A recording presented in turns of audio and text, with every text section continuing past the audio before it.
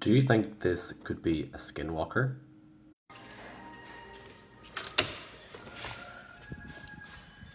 Hello. She wants to come in, Tessa.